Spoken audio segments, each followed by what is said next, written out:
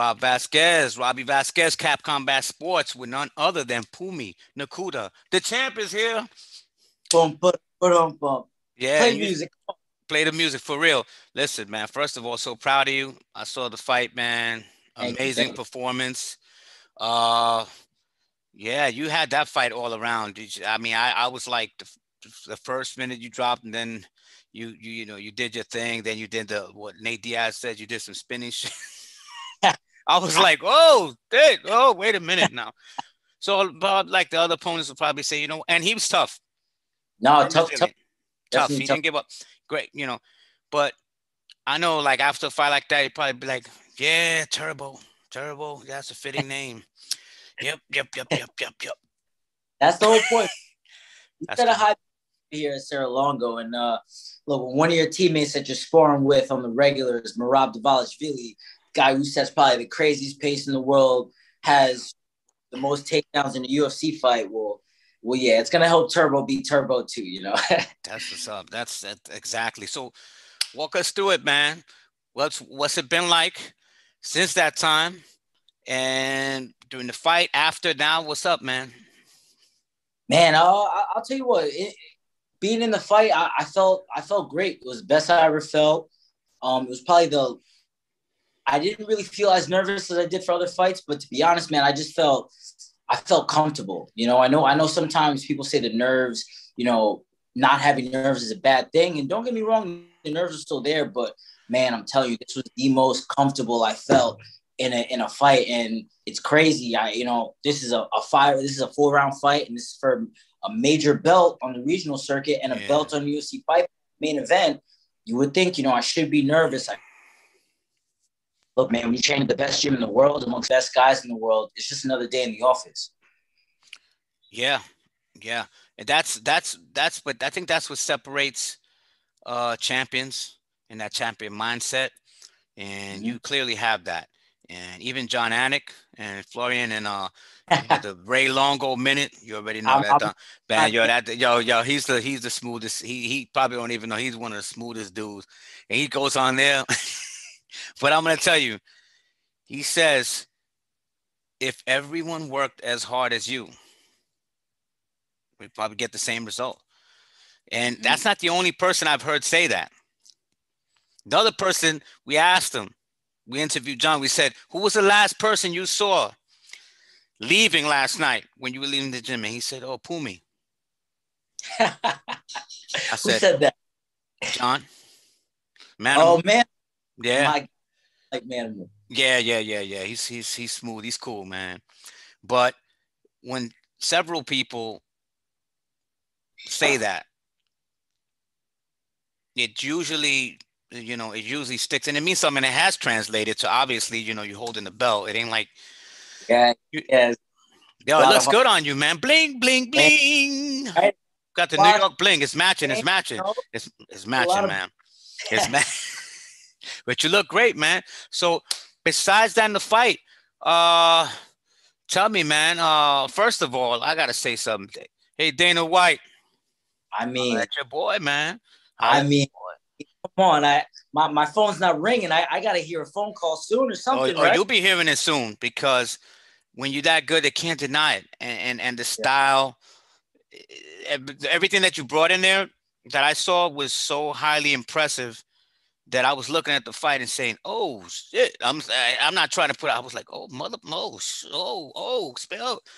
When you looked at as a person, they, they say, "Well, you got to look out for his grappling," but he's beating you up on the feet, yeah. dropping you faster than you, catching Yep. you, overhands, all kind of. Now you, it's like okay, you know, a person would have to really dig deep, but you you you have more than one way to win. That's what I'm saying. And you're great, like you know, uh, John say you're great at one thing, but you're like increasingly getting better. Thank you. Thank fight, man. And I saw that. I was I was amazed. I was, but I'm no, I wasn't amazed. I was, you know, I was like, uh, damn. And that boy's going, he's doing his thing, man. Like, hoo. I was like, yeah, I Well- would say, but tell me, my, my man, Dana White, call him. But tell me what's up, man. What's up with you? At the end of the day, man, that that's just hard work. That's just the hard work I put in, and, and um, you know, I, I take honestly, I take real pride in my hard work at this point. I've been I've been working, I've been slaving at this ever since I was 12 years old, you know, when I first walked into a kickboxing gym.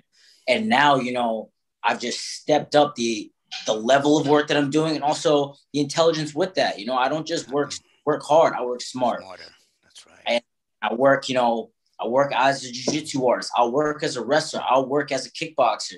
And then, you know, just being with the guys that I am, having a great team around me, I also work at mixing it all together. At the end of the day, man, I you know, we knew that I was going to be skillfully be ready for this. And ever since November, ever since my my last match in October, uh, October 30th against Ben Coyle, we started training for 25 minutes because that's what we wanted. So, you know, talk about my my skills, how they improved. You know, my pace has improved, my technique has improved, my cardio has improved, and with that, my conditioning speed have all followed up. So, the end of the day, man, I I'm just looking to be the hardest worker in the room, and you know, work under those lights. And um, at the end of the day, man, I, I think all my years of hard work is paying off. Like I said, I've been doing this 12 and 0 and right now I'm three and 0 as a prof- or uh, sorry, I was 12 years old, but right now I'm three and 0 as a professional artist, and I had the Cage Fury World Champion. I mean, who else? Three and. I, I can't point to a to a single person who was doing that at the level I am. So you know, I think my hard work's paying off, yeah, and I can't, uh, I can't either. I get too cocky. I'm not going to get you know too, too confident. I know I have a lot more hard work to do. Yeah, but when you have people at the high level mentioning your name like that, it's it with so many other fighters out there that are good and some great. It's it's it's it's not for no good reason. It's it's for something, and and you and you and you've shown that. But thank, thank you. Let me ask you, what do you think about the 125 pound division in the UFC right now? And what could you bring there, my man?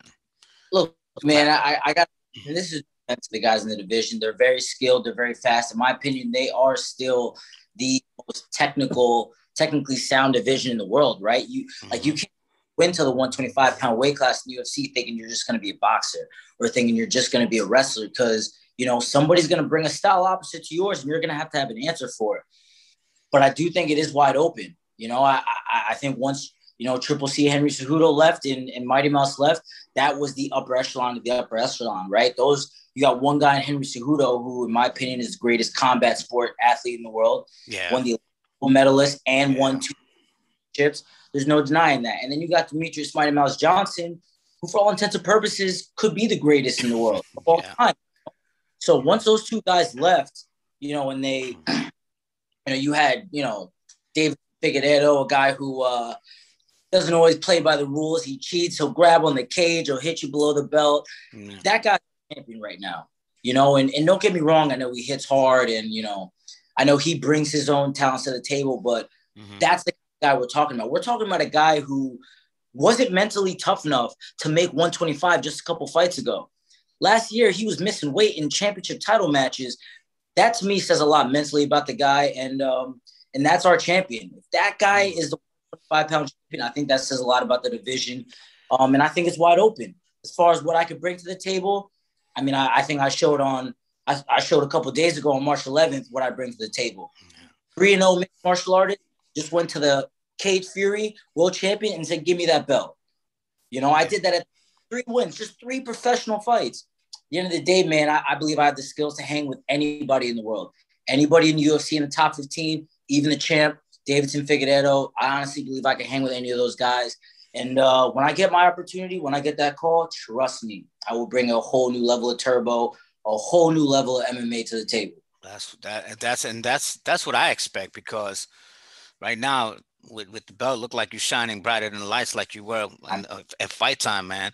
And Come I on. see you bringing I see you bringing something different and a balance level. Like you said, like, you know, you you you you don't you have more than one way to win and you show if you and you've shown that like they'll expect you to win with this and worry about this but then now they got to worry about this and this so it's like oh you know it's like oh i was just worrying about this don't just worry about that that's why it's mixed and that's why you've, you've shown that and i do believe that you would you i could see you up there in the ufc really really soon uh, you know, I know, like you said, you gotta you gotta work your way through. You know what I mean? That's sure, but sure. I think once they see you in there doing you, they're gonna they're gonna put try to push you up. But I mean, my, my whole thing is this, man. Like, I know I know I might have to keep doing the work, and I get it. I'm only three and zero, but um, at the end of the day, I'm just gonna keep working. I'm gonna keep grinding. But in my opinion, man, you know, I, I still think I should get that call. You know, yeah. I, I don't anyone else you know, at 125, grappling the way I can grapple at the pace I can grapple at, and then also still strike and land spinning elbows in the third round. You know, yeah. I don't see these guys hopping on the microphone and saying what I'm saying too. Look, man, at the end of the day, I can do it all in the ring and I can do it all outside of the ring too. You know, you promote that fight, trust me, I can promote. I'm that guy, and you need someone who's going to show up on fight night. I'm that guy for the two. So uh, the end of the day, I believe I'm ready. I'm ready for the UFC, and not only my UFC, I'm I'm the guy that they want. I check all the boxes. Exactly, and I don't think I, I you know I don't see you. I haven't known you to you know have a problem making weight because I think the, the the the mental focus is there. You know this is your job. You know that this is what you have to do. When a person's consistently missing weight or something, I don't know. Uh, maybe they need to go to another weight class. Maybe. maybe or, or maybe they might not be mentally strong, you know. That, they may not be mentally strong because you know, and, and it's tough for right. I don't care. I don't care how much you weigh. Mm-hmm. You know, it's tough for me too. But you know what? I'm always gonna make weight. Why? Because I'm a professional. the yeah. end of the day, I I do my work. You know, in camp, and, then when it when it comes to make weight, I make my weight. When it comes to fight night, I perform. And then when you put the mic in front of my hand, For real drop bombs there too. For real. So, yeah, yeah, I heard you. you know, I keep professional and um, yeah. do it all. Of course, but that's but that's what that's what being a a star is, and being a professional and being a champion is all about. You yeah. know. Oh, also, congrats to uh to Aljo. Cause oh, I, yeah. I, I, saw y'all both with the with the belt. I was like belt and belt, both blinging. Almost I, I almost went blind. I had to uh, Tell me that was the coolest picture you ever seen in your life. Come on. Yeah, I like that on the stairs and uh, and standing yeah. together and stuff, and, and then all four guys with, with the belts at the at the at, at, at the gym too. And that's and that's not even all the belts that, that the guys no. in our gym. No. We got Rob, who's also won a ring combat championship. If yeah. we're gonna all the amateur championships we won, dude, Serra Longo's nothing but blinging right now. Yeah, of course, of course. But that's that's yeah, yeah, for, for sure for sure. But man, I look, I look so much, I look so, you know, I, I know once you, once you get that call, because I know you're going to get it, you know, that the talent there, the type of fighting style you're going to bring, the type of matchups that I can see, how you match up with, uh, with, with, certain individuals. One, one match fans, man, you guys are lucky you get to watch it. Yo, let me, there, let me tell you something. Who would you, who would you like to, like to fight going in there, just starting off at uh at that division in the UFC, 125 pound division? You know what, man? I would I would love to compete against either Tim Elliott or Kai Kara-France. And uh, it's not just because they fought recently, but man, I just think those are two exciting fighters. Yeah, Look at uh, Elliott; he brings you know fancy footwork to the table. He brings energy. grit and and a lot of energy, right? Almost mm-hmm. you know energy I bring to the table. And uh, it's no disrespect to the guys, right? Like I'm, I don't have anything against the guys I compete against, but man, I, I think it would be a great matchup and uh, fun fight for the fans. And and I'm the kind of guy, man, where sure. I, I, I love competing. This is what I love to do. So exactly. I want against the best guys in the world, right? So you have that guy who brings that to the table. Then you got Kai Kara-France. That guy's always in an exciting fight. Yeah, He's he is too. And he he doesn't bring necessarily the work um, Tim Elliott brings, but he definitely brings almost the same level of excitement in his fights, right? You know somebody's getting dropped. Yeah. You know crazy is gonna happen when Kai Kara-France steps yeah. in there. Yeah. I think you know, talk about styles, you know, styles making matches. I think a match between Kai Kara-France and I would be very entertaining for the fans. It would be high pace, high energy, high action, and somebody's getting finished, and it ain't gonna be me. Mm, nice. Nice. I look forward to that one. I told you I dropped bombs on this microphone. Come on. yeah, for real.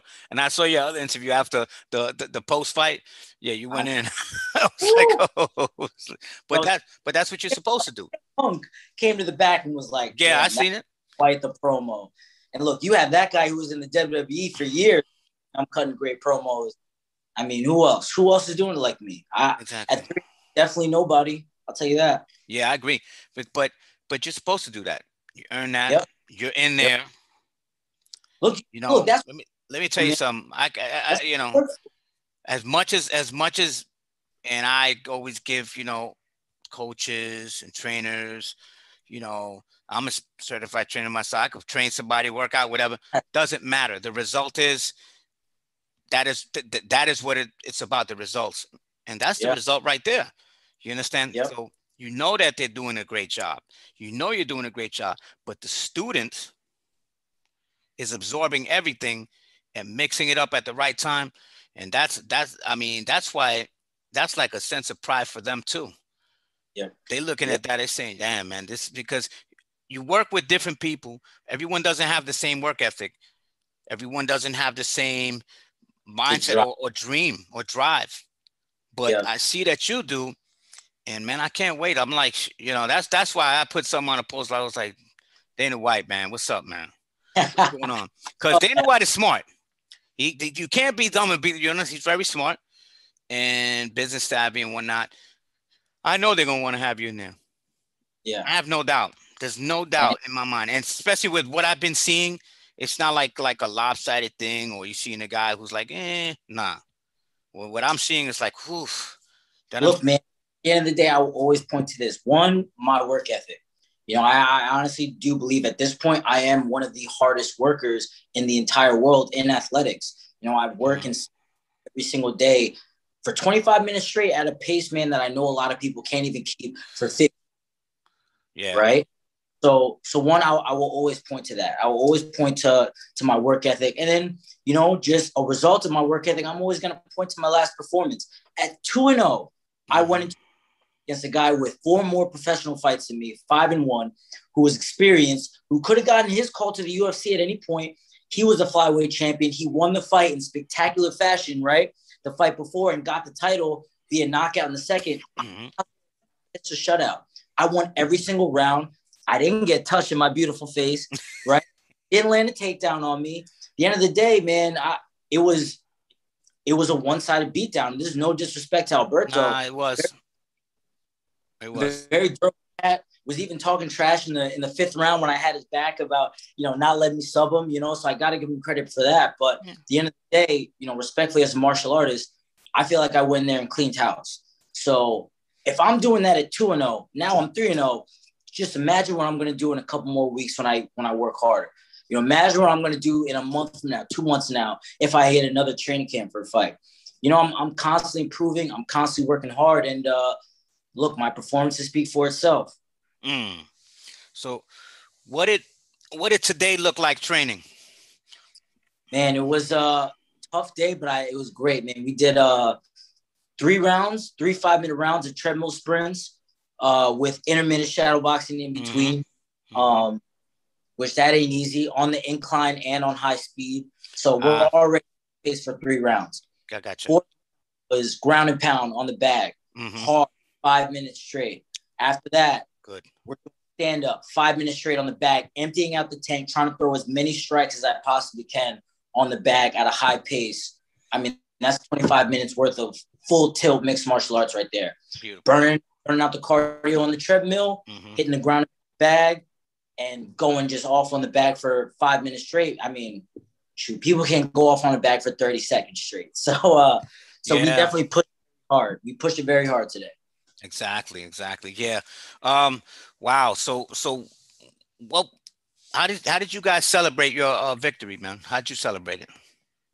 I gotta be honest, I can't even really say I celebrated too much. Um, I know, I know some people. I went to Vegas and hung out with Aljo for a little bit. I guess that was my little like two day celebration. Yeah. Um, but other than that, man, I'm I'm back in the gym. I know I got more work to do, and if um if I'm gonna be calling out all these you know UFC fighters out, if I'm gonna yeah. be talking the way I'm talking, I have to back it up. You know, I have to perform and I got to step up my level. So, uh, yeah. I got to celebrate too much. I maybe ate a couple of the foods that I don't usually get to eat. now, back to hard work and the yeah. grind. I'm ready for the next. All right. So, uh, what's your what's I had asked you one time, and I, I usually ask this question. Mm-hmm. When you guys go out and eat, what is it? Pizza, lasagna, what is it? Uh, uh, uh I, I, sometimes I'll get pizza. Don't get me wrong. Sometimes I'll get a little Taco Bell, but I'm telling you, the number one Cinnabon. Cinnabon.